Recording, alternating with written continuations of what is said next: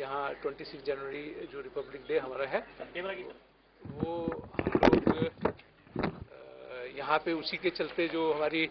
जो अलर्टनेस है जो उसी के चलते जो हमारी फोर्सेस ने कल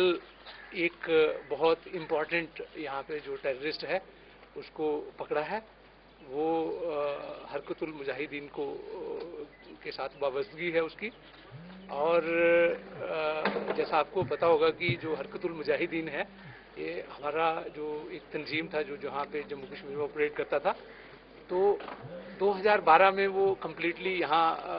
जम्मू कश्मीर से उसको वाइप आउट किया था। तो उसी के चलते ये जो आज हमने जो एक, जो टेररिस्ट पकड़ा है, ये खाली एक जो है वो बचा हुआ था उस तंजीम का। लेकिन उसकी जो सारी एक्टिविटीज़ थी वो पिछले तीन चार साल से कहीं अंडरग्राउंड एक्टिविटीज़ वो कर रहा था। जो अक्रॉस एलओसी इसका जो टच था और इसमें इसने इसको डायरेक्शंस थी कि भाई जो हरकतुल मुजाहिदीन है इसको एक बार से, दोबारा से वैली में जो है वो खड़ा किया जाए और जो जो दहशतगर्दी की जो कार्रवाइयाँ हैं उसमें इनमें बढ़ावा लाया जाए। तो उसी के चलते आज सोपुर पुलिस ने और हमारी जो आरआर यूनिट्स हैं, यहाँ पे जो 52 आर जब कल उन्होंने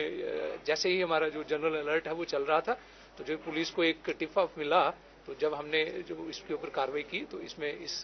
जो मिलिटेंट है, इसको पकड़ा है, इसके कुछ साथियों को भी पकड़ा है